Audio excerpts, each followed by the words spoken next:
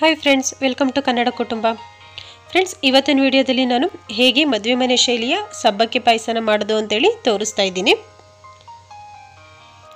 ಕೇವಲ ಹತ್ತೇ ನಿಮಿಷದಲ್ಲಿ ತುಂಬ ಟೇಸ್ಟಿಯಾಗಿ ಹೇಗೆ ಸಬ್ಬಕ್ಕಿ ಪಾಯಸ ಮಾಡೋದು ಅಂತೇಳಿ ನೋಡೋಣ. ಹಾಗೂ ಸಬ್ಬಕ್ಕಿ ದೇಹಕ್ಕೆ ತಂಪು ಕೂಡ. ಬೇಕಾಗಿರುವಂಥ ಸಾಮಗ್ರಿಗಳು.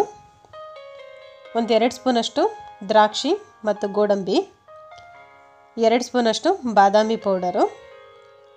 ಒಂದು ಎರಡರಿಂದ ಮೂರು ಏಲಕ್ಕಿ ಪೌಡ್ರ್ ತೊಗೊಂಡಿದ್ದೀನಿ. ಹಾಗೂ ಮುಕ್ಕಾಲು ಕಪ್ಪಷ್ಟು ಸಕ್ಕರೆ.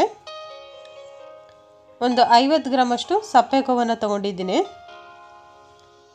ಹಾಗೂ ಎರಡರಿಂದ ಮೂರು ಸ್ಪೂನಷ್ಟು ತುಪ್ಪ ತೊಗೊಂಡಿದ್ದೀನಿ. ಮುಕ್ಕಾಲು ಲೀಟ್ರು ಹಾಲು. ಹಾಗೂ ಒಂದು ಕಪ್ಪಷ್ಟು ಸಬ್ಬಕ್ಕಿ ತೊಗೊಂಡಿದ್ದೀನಿ.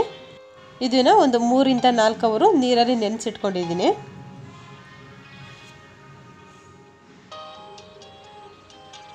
ಈಗ ಪ್ಯಾನ್ ಬಿಸಿ ಆಗಿದೆ.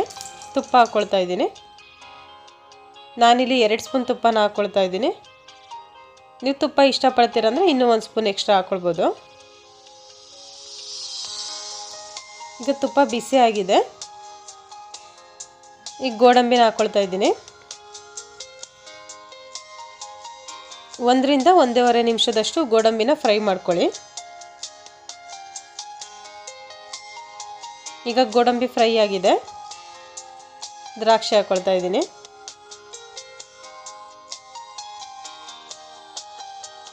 ಈಗ ಒಂದು ಎರಡು ನಿಮಿಷ ದ್ರಾಕ್ಷಿ ಗೋಡಂಬಿ ಎರಡೂ ಫ್ರೈ ಮಾಡಿಕೊಂಡು ಸಪ್ರೇಟ್ ತೆಗೆದಿಟ್ಕೊಳ್ಳಿ. ಈಗ ಅದೇ ತುಪ್ಪಕ್ಕೆ ಸಬ್ಬಕ್ಕಿನ ಹಾಕ್ಕೊಳ್ತಾ ಇದ್ದೀನಿ. ಒಂದು ಎರಡರಿಂದ ಮೂರು ನಿಮಿಷ ತುಪ್ಪದಲ್ಲಿ ಸಬ್ಬಕ್ಕಿನ ಹುರ್ಕೊಳ್ಳಿ. ನಾನಿಲ್ಲಿ ನೈಲಾನ್ ಸಬ್ಬಕ್ಕಿನ ತೊಗೊಂಡಿದ್ದೀನಿ. ನಿಮಗೇನಾದರೂ ನೈಲಾನ್ ಸಬ್ಬಕ್ಕಿ ಸಿಕ್ಕಿಲ್ಲ ಅಂತ ಹೇಳಿದ್ರೆ ನಾರ್ಮಲ್ ಸಬ್ಬಕ್ಕಿ ಕೂಡ ತೊಗೊಳ್ಬೋದು. ಹಾಗೆ ನಿಮ್ಗೇನಾದರೂ ಸಬ್ಬಕ್ಕಿ ನೆನೆಯೋದಕ್ಕೆ ಟೈಮ್ ಸಿಕ್ಕಿಲ್ಲ ಅಂತ ಹೇಳಿದ್ರೆ ಡೈರೆಕ್ಟಾಗೂ ಕೂಡ ಯೂಸ್ ಮಾಡ್ಬೋದು. ನೀವು ಡೈರೆಕ್ಟಾಗಿ ಮಾಡಬೇಕಾದ್ರೆ ಸಬ್ಬಕ್ಕಿನ ಮೊದಲು ಕುಕ್ಕರಲ್ಲಿ ಒಂದು ವಿಷಲ್ ಕೂಗಿಸ್ಕೊಂಡು ನಂತರ ಈ ರೀತಿ ಫ್ರೈ ಮಾಡ್ಕೊಳ್ಳಿ. ಈಗ ಹಾಲು ಹಾಕ್ಕೊಳ್ತಾ ಇದ್ದೀನಿ. ನಾನಿಲ್ಲಿ ಮುಕ್ಕಾಲು ಲೀಟ್ರಷ್ಟು ಹಾಲನ್ನ ತೊಗೊಂಡಿದ್ದೀನಿ. ಈಗ ಹಾಲಲ್ಲಿ ಒಂದು ನಾಲ್ಕರಿಂದ ಐದು ನಿಮಿಷ ಸಬ್ಬಕ್ಕಿನ ಬೇಯೋದಕ್ಕೆ ಬಿಡೋದ. ಈಗ ಐದು ನಿಮಿಷ ಆಗಿದೆ, ಸಕ್ಕರೆ ಹಾಕ್ಕೊಳ್ತಾ ಇದ್ದೀನಿ. ಇಲ್ಲಿ ನಾನಿಲ್ಲಿ ಮುಕ್ಕಾಲು ಕಪ್ಪಷ್ಟು ಸಕ್ಕರೆ ತೊಗೊಂಡಿದ್ದೀನಿ.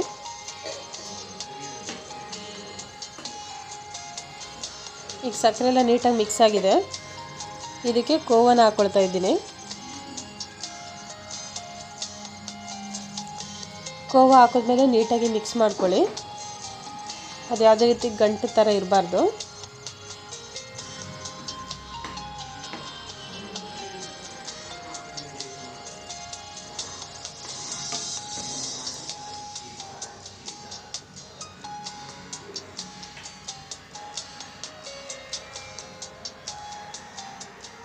ಈಗ ಏಲಕ್ಕಿನ ಹಾಕೊಳ್ತಾ ಇದ್ದೀನಿ.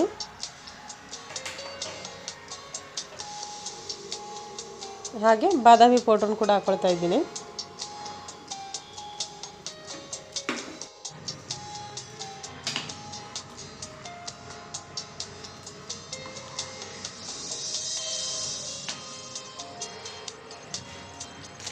ಪಾಯಸ ರೆಡಿಯಾಗಿದೆ ಹೀಗೆ ಹುರಿದಿಟ್ಕೊಂಡಿರೋಂಥ ದ್ರಾಕ್ಷಿ ಗೋಡಂಬಿನ ಹಾಕ್ಕೊಳ್ತಾ ಇದ್ದೀನಿ.